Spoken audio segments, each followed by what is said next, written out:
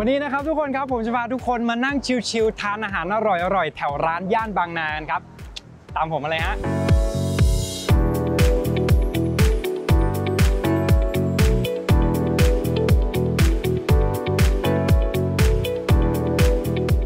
ผมอยู่ที่ร้านชาวชนแล้วครับทุกคนคือต้องบอกเลยนะฮะว่าอาหารทะเลของร้านนี้เนี่ยส่งตรงมาจากศรีราชา จังหวัดชนบุรีเลยนะครับ สดมากๆ เดี๋ยวเราไปลองชิมกันดีกว่าว่า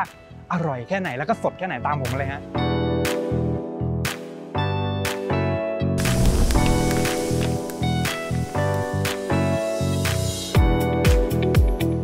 เมนูแนะนำของทางร้านชาวชนนะครับ เมนูแรกคือปลาเต่าเต้ยนึ่งซีอิ๊วนะครับข้าวผัดไฟทะลุปู ดงบุริเนื้อปูชิ้นใหญ่มาก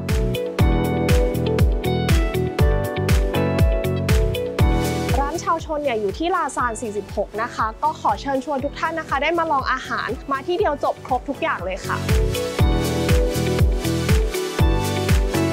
ฝากทุกคนติดตามรายการมาเดียวเที่ยวได้ใน EP นี้ด้วยนะครับ แล้วเจอกันในเทปเต็มนะจ๊ะ